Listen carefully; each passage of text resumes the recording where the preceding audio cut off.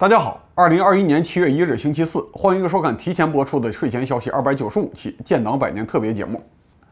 打开党章第一句话：“中国共产党是中国工人阶级的先锋队。”把“工人”这个词继续分解，可以拆成工业经济和劳动人口两个概念，分别对应现代社会的硬件和软件。今天我就以这两个概念为主线，对建党以来的中国历史做一个简化的回顾。一九一一年清朝灭亡，十年以后，一九二一年中共建党。从一九二一年到一九三一年，中国钢产量最高也只有每年三万吨，最低是一点五万吨。按照四亿人算，每人每年是几十克，不到十立方厘米。在我的家乡，好用的铲子和锄头叫羊锹和羊镐，这说明中国的钢铁产量甚至满足不了农业社会本身的金属磨损，必须靠外来供应满足。所以当时中国制造机器的能力略等于零，整体上还停留在农业社会，只是在外国租界附近才有一些依附于外资的工业人口。和四亿的农业人口相比，这些工人和学生在生产率上占有压倒性的优势，收入还算可以，绝对不是生活压力最大的群体。但是他们在接触外国技术的同时，也看到了更大的世界，接触了更进步的思想，对社会的期待远远超出普通中国人，所以他们对半殖民地半封建社会的不满反而更强烈。而且他们直接参加了现代产业，知道社会在持续进步，不会像传统农民那样期待一个宗教化的天堂。更希望在现实社会就进行改良，甚至革命，这就是中国共产主义革命最早的群众基础。现在我们看1921年建党会议的名单，都是接受了欧洲革命思想的知识分子。1922年初，中共才迎来了第一个工人党员徐梅坤。在建党之前的1920年7月，徐梅坤在杭州组织了印刷工会。1920年12月，徐梅坤已经开始在浙江出版工会刊物了。他入党的时候，总书记陈独秀亲自做他的入党介绍人。因为这意味着知识分子的理想主义开始和群众的自发性结合，也证明共产主义在中国兴起有自发的社会基础，并不是少数天才的创造。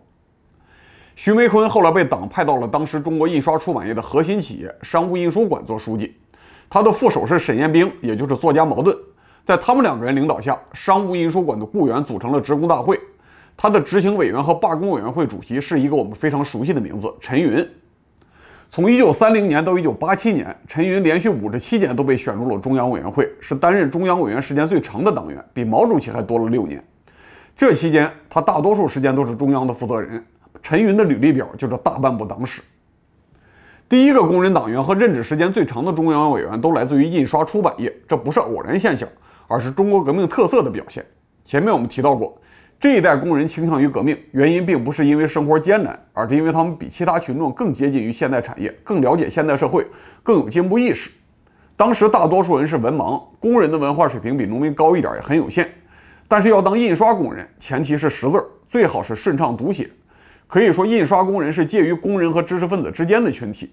所以印刷工人比其他工人接触了更多的新思想，主动加入革命运动的概率更高。除了前面提到的陈云和徐梅坤。红军二方面军的创始人关向应也是印刷工人出身。八路军改编成三个师的时候，关向应是幺二零师的政委。在中国革命史上，早期印刷工人群体发挥了远远超出自己人数的作用，说明在这个阶段，工业时代对中国最主要的影响，并不是全面改造经济和社会，而是塑造一批对现代化有认识、对社会进步有信心的知识分子和工人。在下一个阶段，这批城市出身的知识分子和工人就要进入广阔的中国农村。在发动社会革命的同时，也尽量引入一部分现代工业的力量。帝国主义带来的工业培养了先进的工人群体，但是这些革命者暂时还不可能夺取少数沿海工业区，甚至在帝国主义和军阀能够发挥火力的平原地区也站不住。南昌起义以后，红军只有一次夺取大城市，是一九三零年彭德怀趁着军阀混战，带领红三军团打下了湖南省会长沙。但是当时的湘江江面上有美国、英国和日本的炮艇，控制了水路运输。这是红军快速退出长沙的重要原因。长征期间，毛主席带红军在贵州四渡赤水，寻找突围机会。一个重要的原因就是蒋介石的炮舰封锁了长江江面，中央红军不能直接向北接近四方面军的根据地。后来日本人控制了中国大多数交通干线，八路军最多收复几个县城，不可能威胁中等以上的城市。这期间，共产党真正能牢固控制的地区，不是西部偏远的地区，就是山区。所以，红军和八路军少数有竞争力的工业，基本上都是基于山区资源的矿业。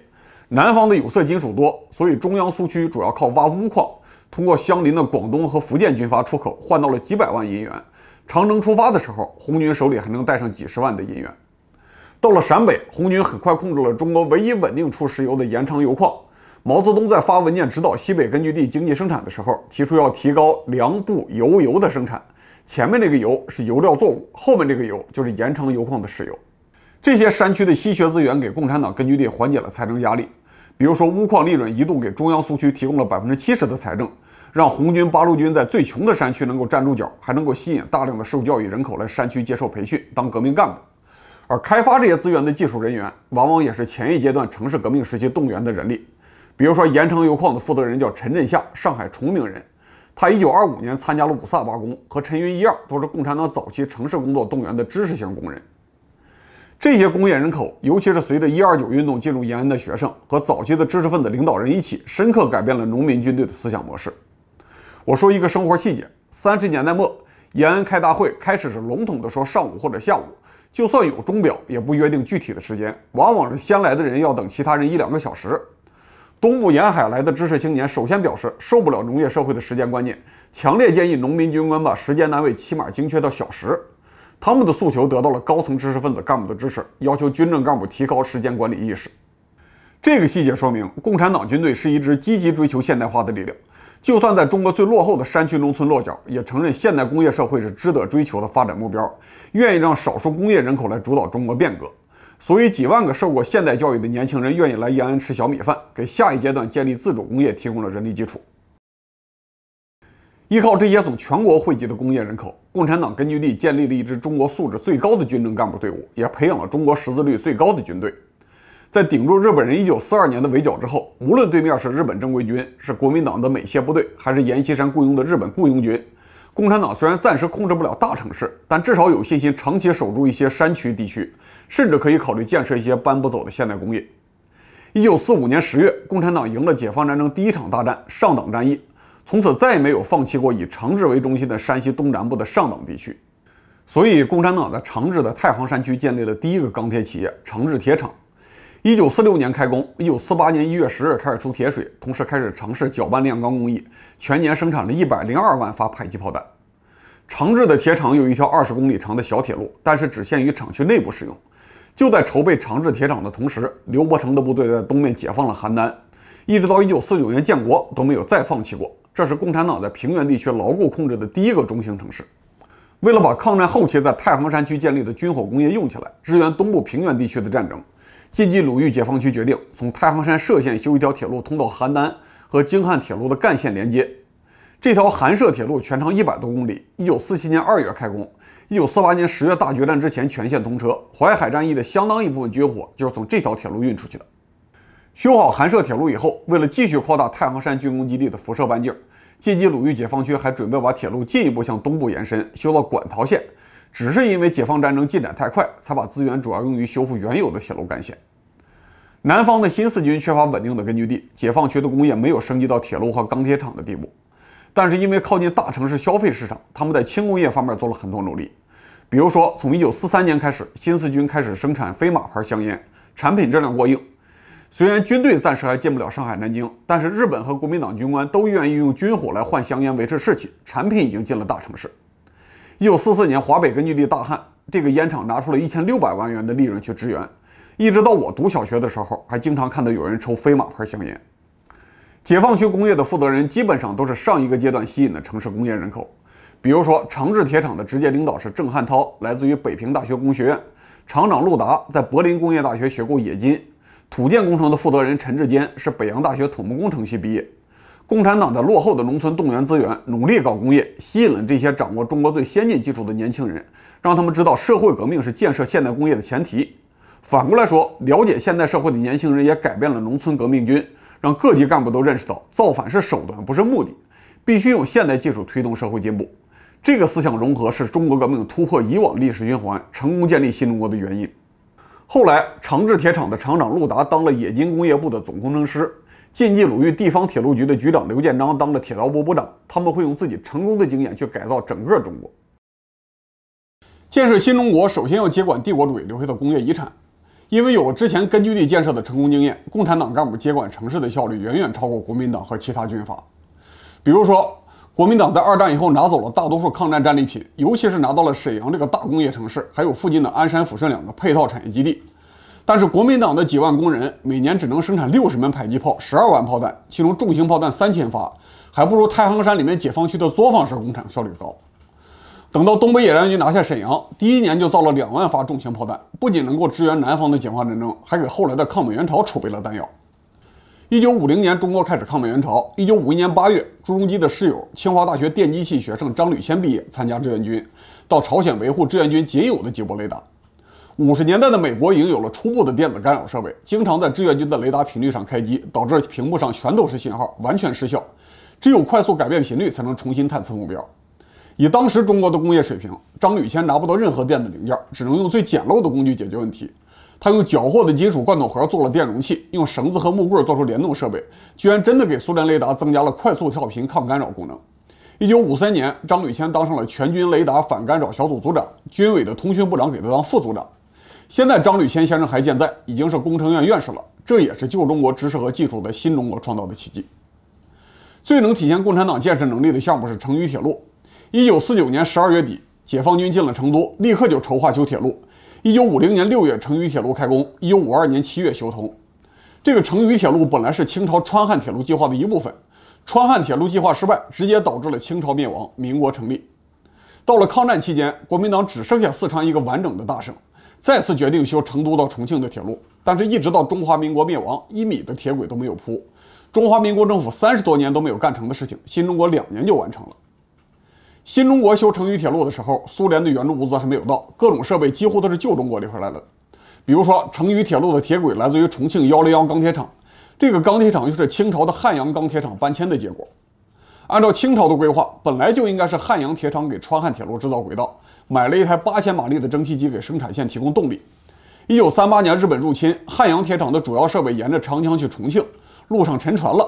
八千马力蒸汽机的飞轮轴掉在长江里，一直没有人管。到了一九五零年，海军在宜昌附近的江底打捞了沉没的设备，这才开动生产线，给成渝铁路生产了合格的铁轨。五十年代的时候，中国的铁路网主要分布在北方，秦岭还没有打通，成渝铁路是一条孤立的路线，铁路机车进不来，就得用国民党手里缴获的美国登陆舰通过三峡运上来。这些事情之前的政府做起来没有任何技术上的障碍，但就是要一直等到五十年代才做成。这说明共产党的动员能力强，也说明当时的共产党能够吸收城市先进阶层，把旧中国的潜力用到极限。等到抗美援朝胜利，苏联援助的现代工业物资到来，新中国必然要创造更大的奇迹。苏联援助，尤其是一百五十六个重点项目，给中国带来了第一套完整的工业体系。这些工厂和旧中国那些零零散散的工业遗产相比，是火车和驴车之间的区别。拿到苏联援助以后，中国用三年时间造出了汽车和喷气式战斗机，十一年造出了原子弹，十七年以后能够发射人造卫星，创造了有史以来技术进步最快的历史阶段。这些事情历史课本上都有，我就不浪费时间去重复了。如果想在感性上理解苏联援助时代的进步，可以去看看当时最著名的先进典型雷锋。雷锋本来是一无所有的农村孤儿，先是当了儿童团，然后读了新式小学，招工进了鞍钢，穿上皮夹克，参加解放军，开上了国产卡车。所以他无限忠于新社会，愿意为这个有希望的时代奉献一切。但是，哪怕在五十年代，苏联援助也显露了一些弱点。根据第一汽车厂总工程师陈祖涛的回忆，苏联的汽车厂是之前美国进口的，现在他要援助中国，自己也造不出全套的汽车厂设备。比如说，三千吨的冲床，苏联也要临时研发才能制造。确定在长春建设一期以后，陈祖涛去苏联采购加工器材，他发现买不到特种的刀具，买不到异形砂轮。甚至是车身所需的金属薄板，这都苏联提供不了。最后还是要到西德，由奔驰公司介绍，才买到了第一批材料，解决了仪器的投产问题。这说明苏联自己的产业升级也非常依赖于西方的技术输入。中国如果想持续的产业升级，迟早要找新的技术引进目标。另外，苏联引进的工业设备高度集中在重工业和军事工业，可能只有武汉肉联厂是纯粹的民生工程。这当然和当时的国际形势有关，中国随时要考虑帝国主义的入侵。必须通过投资重工业实现跨越式的发展，优先发展军事工业。虽然工业投资越来越大，动员的人力越来越多，但是提供的消费品并没有同比例的增长。这反映在人口方面，意味着能够享受现代化生活的人口不可能快速增长。五十年代初期，这个问题还不明显，因为大多数农民的社会期望还是一个改良版的农业社会，能够安安静静的种地、吃饱穿暖就行。少数受教育的学生和见过新时代的城市人口希望能在工业社会获得体面的工作，这也不难满足。因为当时的受教育人口实在太少，每个知识青年都是稀缺资源。苏联专家指导建立的几十所大学，招生数量甚至比高中毕业生还多，不得不动员一批教育水平较高的军人和干部辞职，回头去考大学。但是到了五十年代中后期，教育规模的增长超过了消费品的增长，新一代中学生对国家的期望越来越高，年轻人就开始不满意了。一九五七年，武汉市郊区汉阳县第一中学的学生发现，一千人只有五十人能够升高中。国家不再鼓励所有年轻人都进入城市，更不会让所有人都读大学的分配工作，而且大城市分配的升学比例明显高于农村。初三学生立刻爆发了抗议，这就是汉阳事件，直接导致了反右运动和接下来一连串的政治风波。人民进入新社会之前，国家只要比旧中国做得好，能够解决农业社会的一些基本矛盾，就有完全的合法性。人民进入新社会以后，受教育人口越来越多，每个学生都像二十年代的上海工人那样，对社会的期待远远超出现实地位，希望社会保持连续的进步。这既是社会发展的驱动力，也是社会要解决的主要矛盾。一直到今天，我们还在解决这个新中国的特有问题。五十年代末，中苏关系紧张，苏联援助结束了，但是中国还没有完全消化苏联送来的技术成果，所以接下来十几年，中国的主要任务还不是产业升级，而是复制五十年代的工业体系。最显著的例子就是六十年代修的南京长江大桥，很大程度上是苏联设计的武汉长江大桥的升级版。从全国来看，一九六四年国家搞了大三线建设，把东部的工业复制了一份到中西部，各省还有小三线建设，到了县里面有五小工业，卷入工业化的人口越来越多。到了七十年代，大多数县城已经从农村的中心变成了生产型城市。中国总体上也做了两件明显超越五六十年代发展水平的标志性工程，第一个是刘天关输电工程。使用三百三十千伏的高压输电线，翻越了陕西甘肃边境的山区，把黄河上游的水电能源送到了陕西关中工业区。这是中国第一个跨区输电工程。现在的特高压西电东送项目可以看到刘天关输电工程的后续。第二个项目是湖北的第二汽车厂，中国完全靠自己的力量搞定了大型汽车厂的生产线，以后当然还可以搞第三个、第四个，最终发展成现在的世界第一汽车生产大国。把这两个工程连起来看，意义远远超出了项目本身的经济效益。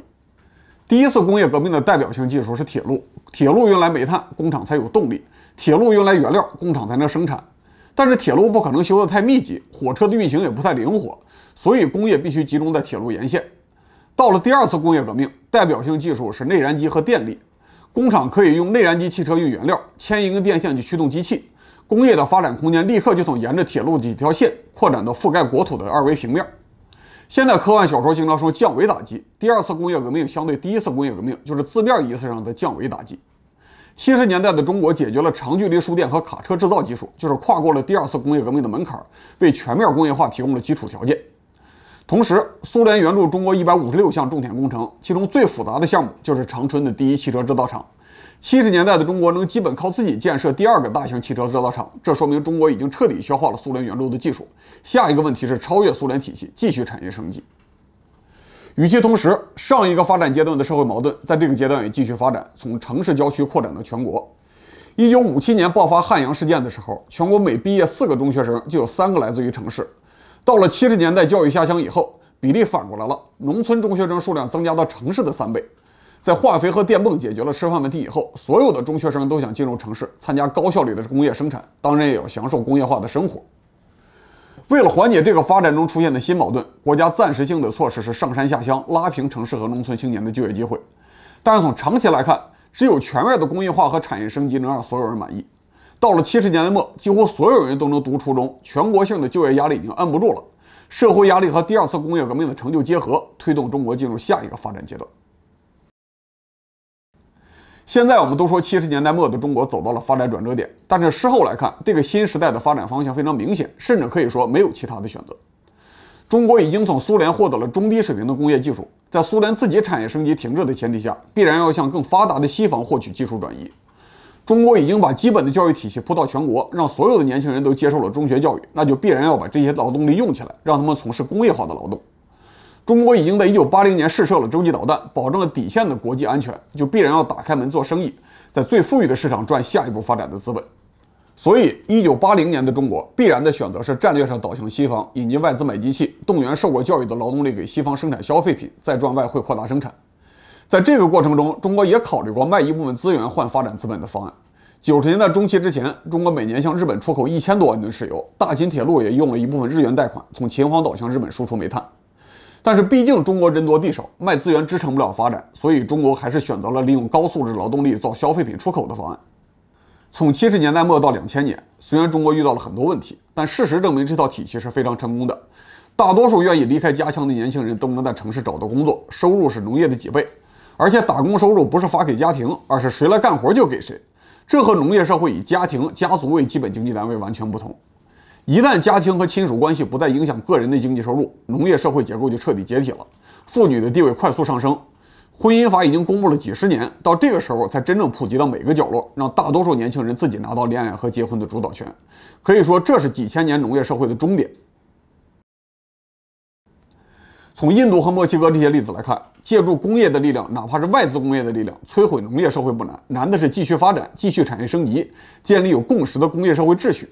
两千年的时候，虽然经济比一九八零年有了很大进步，但是大多数人并不觉得自己生活在一个幸福的时代。老工业基地有大下岗，农村在拼命的收农业税和提留款，可能让种地本身是亏本的。教师和地方干部的工资欠半年非常常见，当时的普通人真不觉得社会比墨西哥更有希望。但是接下来的十几年，有几件事推动中国继续进步。第一个机遇是美国习惯了发国债平衡财政，印美元支付军费，对中国的廉价商品产生了路径依赖，导致经济持续空心化，中国继续占领出口市场，获得产业转移。第二个条件是中国持续搞的超前教育。一九九九年，中国大学扩招百分之五十，两千年扩招了百分之三十八，之后几年每年都扩大百分之二十左右。现在每年的大学生招生数量差不多是九十年代后期的十倍。从这些大学生的视角来看，学历竞争是越来越激烈了，但是整个国家的劳动力水平持续提升，能够满足企业产业升级的需求。第三个条件是中国持续投入搞基础设施，尤其是在交通和能源两方面下了大本钱。二十年前，我们搞一个两千万千瓦的三峡工程，每个阶段性的成就都是全国的头条新闻。现在白鹤滩一千六百万千瓦的项目投产，在媒体上连三天的热点都没有，一千三百万千瓦的西洛渡电站几乎都被人忘了。这些基础设施在建成的时候，很多人都担心像大学扩招一样过剩。但是事实证明，中国经济基本占满了东部的道路和全部的发电能力。在二零二一年的今天，我们比两千年的中国又上了一个大台阶，人均 GDP 超过了一万美元，已经不屑和其他发展国家并列了。去年春节，我带我儿子去了一趟美国，回来问他对哪个城市印象深刻，这居然是小城市波士顿。对于纽约的高楼大厦，对于华盛顿的大理石建筑，他觉得在中国已经很常见了。也就是几个博物馆还有点意思，这就是所谓的平视发达国家。我刚才用二十分钟粗略回顾了一百年的历史，前面的几十年距离今天比较远，我多举了几个例子描述细节。最近的几十年大家都熟悉，所以我说的粗略一些。如果说这一百年有什么共同规律，就是必须正视工业人口和现有社会的矛盾，积极面对这个矛盾，能够推进社会进步。消极逃避工业人口就会成为消极因素。一百年前的中国，知识分子和受到现代化冲击的群众结合，一起创造了新时代。一百年后的今天，已经不存在特定的知识分子概念，或者说普及型的教育导致全民知识化，不用刻意强调结合，群众和知识分子这两个概念就会自然地叠加在一起。所以，新一代人在获得前所未有的发展机会的同时，也对社会提出了前所未有的要求。如果只看年轻人理想和现实的绝对差距，矛盾可能是前所未有的激烈。但是矛盾激烈并不一定是坏事，能够正确引导反而是社会发展的动力。三十年代延安吸引知识分子，七十年代中学扩招，二十一世纪大学扩招，事后证明都大大促进了社会的发展。现在中国的年轻人机会少了，抱怨社会封闭；机会多了，就抱怨竞争激烈、内卷。买不到外卖，抱怨社会不方便；买得到外卖，抱怨平台企业控制自己的生活。这说明他们不想在现有的社会模式下做二选一的选择，而是希望自己创造新的生活模式。从这一点来看，现在的年轻人和1921年的印刷工人倒是有相似之处。和1921年相比，中国社会更复杂了，很难用一个简单的模型概括主要矛盾。所以，年轻人可能会被眼前的局部问题迷惑，找不到社会的主要矛盾，提出一些消极的抱怨。但是我也不相信一代不如一代的说法，毕竟信息工具越来越发达，年轻人的寿命也越来越长。如果经济高速增长，他们会在实践中接近先进生产力；如果经济停滞，他们也会有更多的时间去理解社会。所以，我对已经全面工业化的中国，在未来上总体是抱有乐观态度，期待这一代年轻人创造出超越前一百年的新生活。好，二百九十五期睡前消息到此结束，感谢大家收看，我们周日再见。